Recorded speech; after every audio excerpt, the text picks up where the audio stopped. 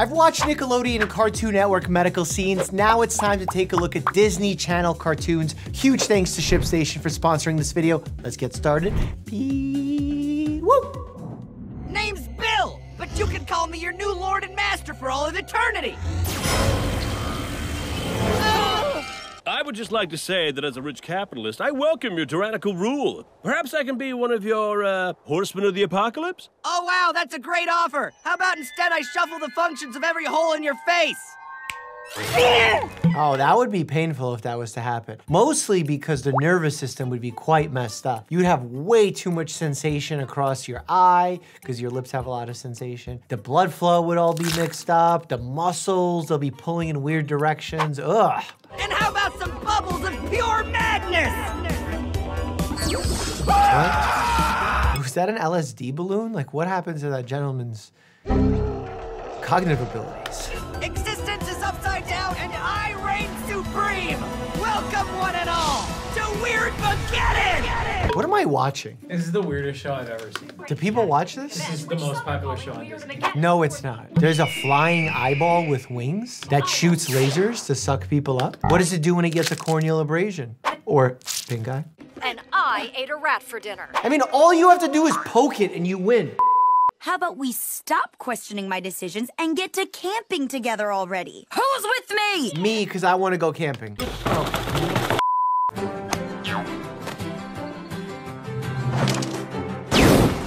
on, kid. Why did the tent light on fire?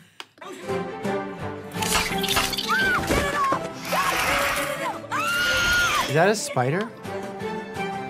I'm just learning about animals at this point.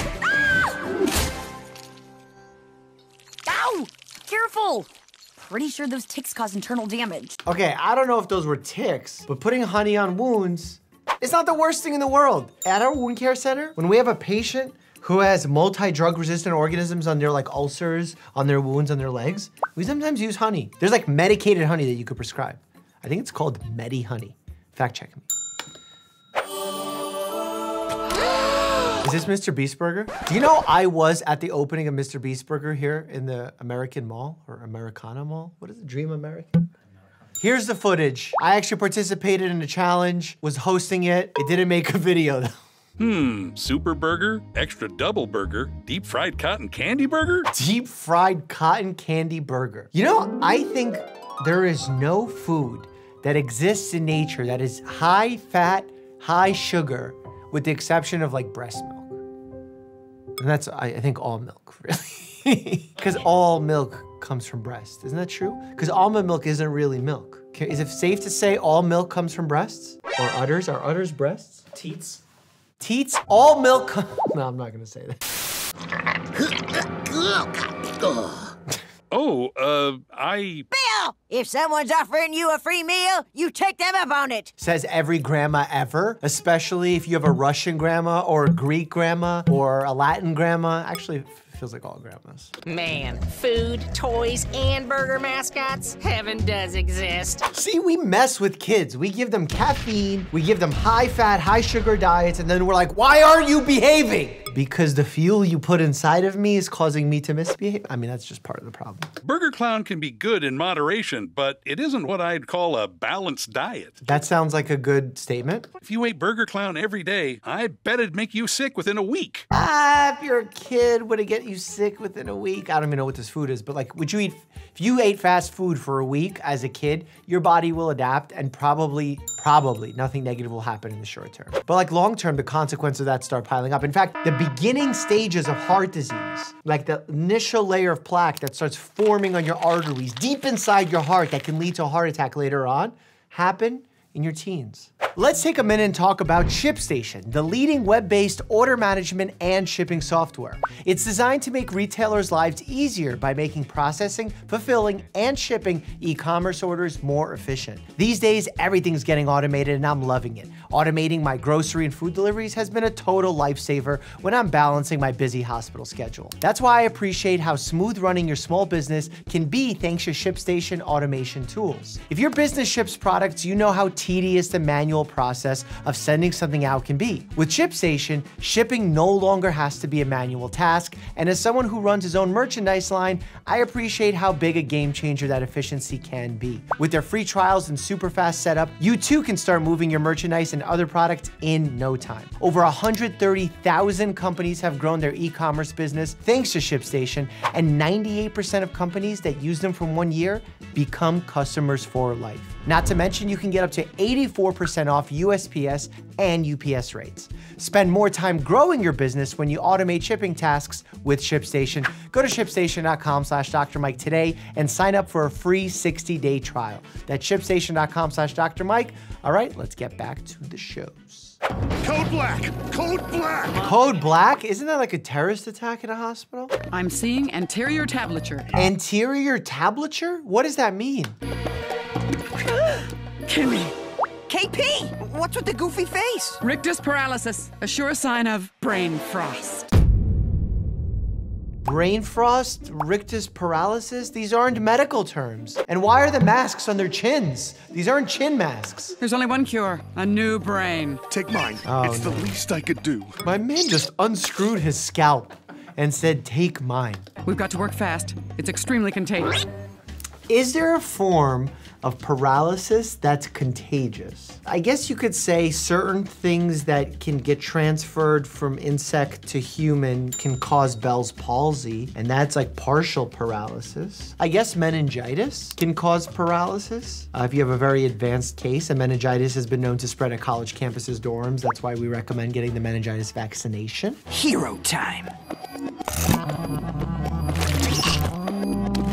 Yeah, you just rip out the brain off the spinal cord and you throw it in there, you'll be good. Again, Surgeon Simulator all over again here. Whoa, whoa, whoa, whoa, whoa, whoa, whoa, whoa, whoa. What is happening?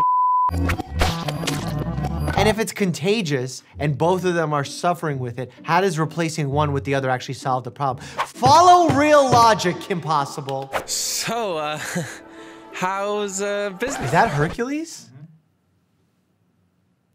Someone skipped leg day. You actually know what a doctor is? You've heard of my work? Uh, no. On both counts. I am Hippocrates. I am a doctor. I cure the sick. Wow. And I don't think they had shiny white teeth back then. I have a feeling like they didn't even have toothbrushes or proper toothbrushes or toothpaste. So probably the hygiene wasn't on that level, you know what I'm saying?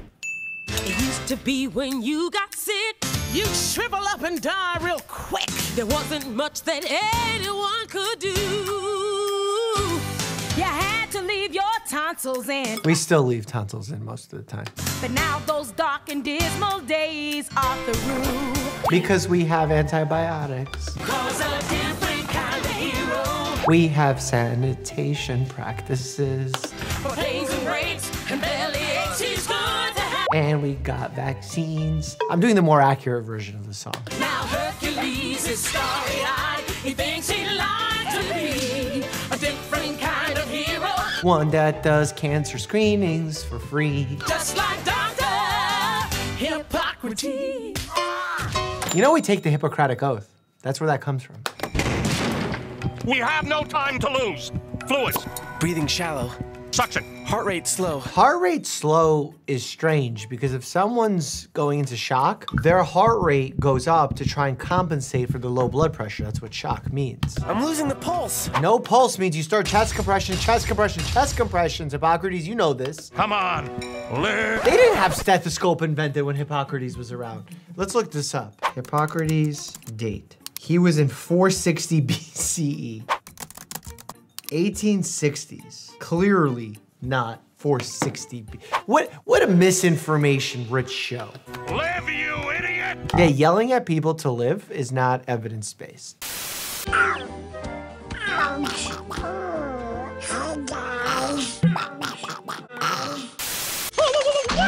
the that? Oh, what? It's a boil. It's a it's a duck boil. It looks like flipper bubutosis. That's a serious condition. Honestly, that could be gout. I'm just saying, gout, inflamed joint, single joint, hot, red, swollen. It's gout. Don't worry, pal. Goofy and I will find you a cure. No doctors. No doctors. Here we go. Everyone's just rubbing honey on everything. Well, that should help with the swelling. Bro, at least find out if it's gout before you rub honey on it. This next one's sure to work. A good old-fashioned foot massage. You shouldn't massage an infected area. It could spread the infection, especially in that area. There's lots of bones, lots of joint space. Now to reharmonize your aura. This is like the biggest nonsense that people do, and I full on feel comfortable calling it nonsense. Because while there are things we don't know about the body, uh, crystals ain't one of them. So I was looking up at the stars thinking about Jeremy. Wow, people's head shapes in these cartoons really get interesting. And now I'm stuck in bed. Doctor's orders. So elevating a leg like that post-surgery is really ideal for decreasing swelling because uh, swelling follows gravity, and if you have your leg elevated above your heart, that means gravity will bring the swelling down. And you see that little device that she has above? That's in order to reposition oneself. What's that your brothers are building down there? What? Let me see, let me see. No way! You gotta stay off that foot. Mm. I mean, she could stay off the foot and get herself like one of those mobility scooters where like one leg is bent and the other leg is working. That's actually ideal. We don't want people to be bedbound for too long because that increases risk of DVTs, which can increase risk of pulmonary embolisms, where the clot dislodges from the lower extremities and gets shot up into the lungs. And that's very problematic and an emergency. Diabetes is complex, but I explained it to kids. Click here to check that out. Lots of fun in this video. And don't forget to visit shipstation.com slash Dr. Mike to begin your 60-day free trial. As always, stay happy and healthy.